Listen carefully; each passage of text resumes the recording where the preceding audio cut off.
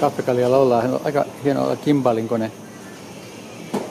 Sitten näissä hauskasti kahvipavut tulee tuosta valmiiksi vasta tötsästä. Mielenkiintoista. Tekee cappuccino. Mä sain oman jo tässä.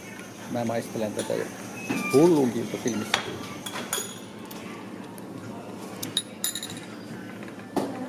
Mm.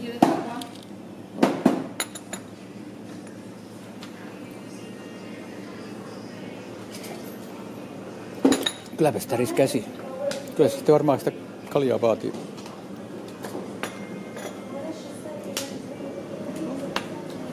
Ai ai ai.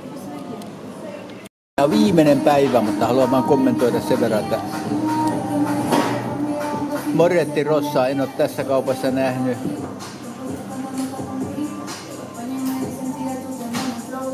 Tota näki, tota vitosta en ole nähnyt, enkä Rossaa, enkä Ipaa. Ipaa en kaipaakaan tietenkään, mutta Pok Rossa, niin sitä olisin kyllä ostanut. Ja toihan on hyvä. Kyllä, kyllä.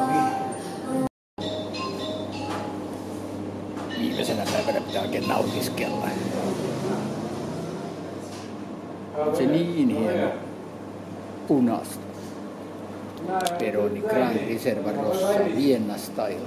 On niin hyvä.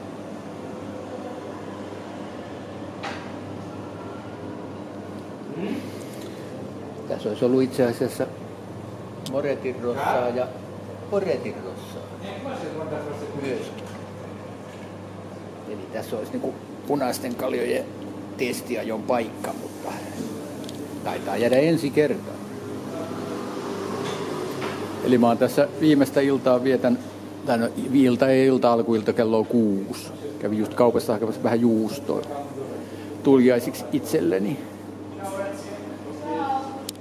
Rata näkyy tuossa noin, siitä juna menee, mä asema on tuolla vähän matkan päässä. Ja tota noin, niin tässä, on, tässä on metroasema vieressä ja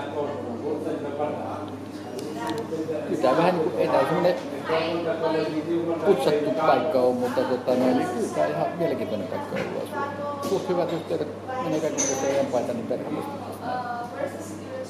Ja tämä kahvilahan on tosi hieno, tämä on tosi tyylikäs. Tosi tyylikäs paikka.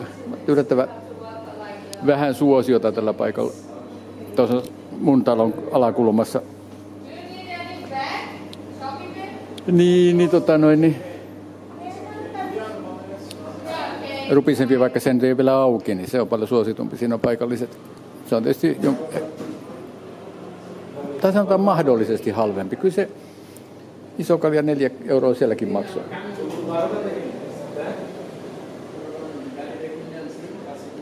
Ja mitä tämä maksoi kolme ja puoli, ja tämäkin on puolitrainen. Mitä tämä voi kalliiksi sanoa. Joskus on pienestä tavallisesta litkusta maksanut 4-5 euroa kyllä tämä ihan on väärti. Olisi nyt tämä tajuta aikaisemmin, tulla tähän litkimään noin testiksi kaikki kolme. Joo, ehkä se pakottaa tulemaan tänne joskus vielä uudestaan. Ja kännykkä signaali on ilmeisen hyvä, kun naapuritalossa on tuossa Andenna